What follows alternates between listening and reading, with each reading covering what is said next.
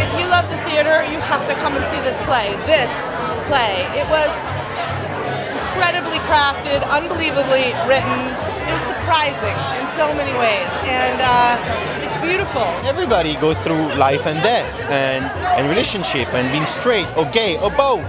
There's so many different things that people need, need to hear and, and, and feel, and in an hour and 40 minutes of your life, you have all those elements. Anytime that you're talking about themes, the, like the ones that are in this play, such human themes. I mean, the way people deal with death or don't deal with death, the way people deal or don't deal with each other. Everybody in this play is dealing and not dealing with their lives. It's incredibly international in the sense that it touches on the major themes of life love and death, um, how to live a good life while we're alive.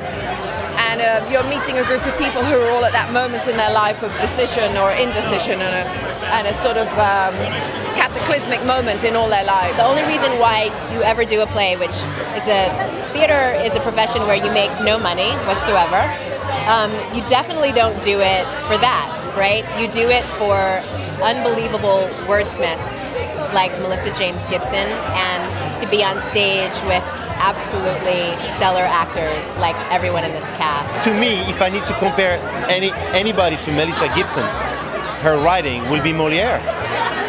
She's she's one of a kind. Her writing is so precise, and it's actually quite heightened, even though it comes across as so naturalistic. It's always asking you to be present and ready and and for me I enjoy that because having I've done it once before and I'm doing it again it still remains challenging and it's always kind of asking you to be alert. Melissa James Gibson is one of the most amazing American playwrights, and so a chance to revisit this play, which I think is an incredible play, is just an amazing opportunity. Don't watch a video, come and see this.